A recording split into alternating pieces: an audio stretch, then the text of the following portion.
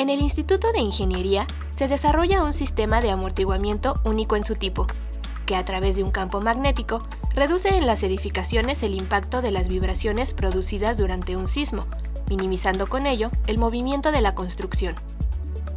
Evidentemente tiene la ventaja de que no tiene eh, necesidad de energía eléctrica para funcionar. Es un sistema que se mueve cuando se mueve la estructura y no tiene necesidad de ningún sistema excitador. El, tipo de amortiguadores permite su instalación de manera muy sencilla, porque basta atornillarlos al sistema de piso de cada estructura y no requieren ningún equipo adicional.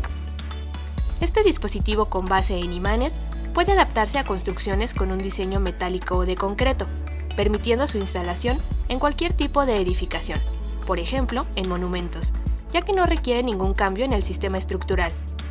Pero, ¿cómo es que funciona este tipo de amortiguamiento?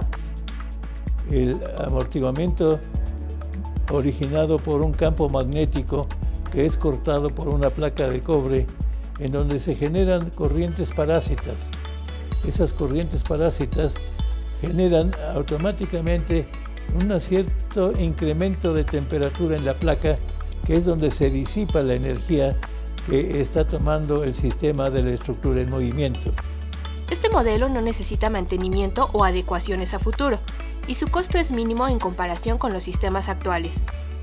Puedo afirmar que con este sistema se puede evitar casi en un 90% las vibraciones que se originan en unas estructuras y bajo ciertas condiciones prácticamente se puede lograr que la estructura se mueva como se está moviendo el terreno sin que vibre, lo que evita que los elementos estructurales sean afectados por la acción del sismo y permanezcan sin daño durante un, sismo muy severo.